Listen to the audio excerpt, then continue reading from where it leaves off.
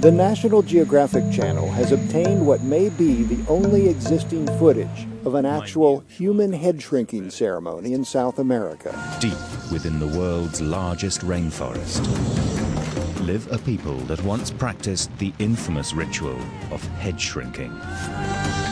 In its special, author and explorer Piers Gibbon set out to find out if the film is genuine.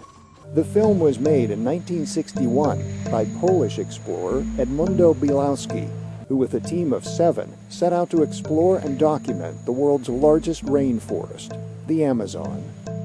Head shrinking was only practiced by one portion of the Amazon jungle dwelling population, the Shuar. Head shrinking was a form of summary justice carried out on enemies. The shrinking process was deemed necessary to stop the victim's evil spirit from seeking revenge.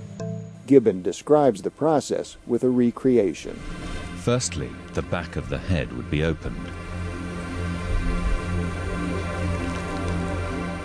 The skin is sliced free from the skull. Care is taken not to damage the facial features. The skull and remaining flesh is removed.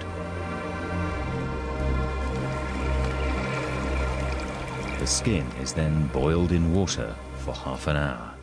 The process is repeated and can take up to six days until the head is a quarter of its original size. The eyes are sewn shut, preventing the victim's spirit from seeing out. Wooden pins are placed through the lips and lashed together with string. This stops the soul from asking for their death to be avenged. To find out how one Gibbon speaks with a Catholic missionary who has lived there since the 1960s. How did you explain to the Shuar that they must stop taking vengeance themselves?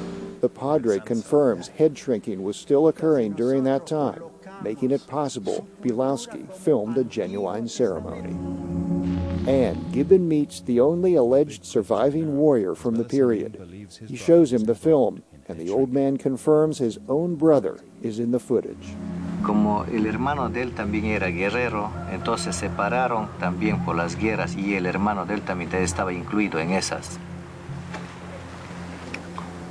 He and his brother were separated by the war, but he does know that his brother was involved in tsantsa ceremonies.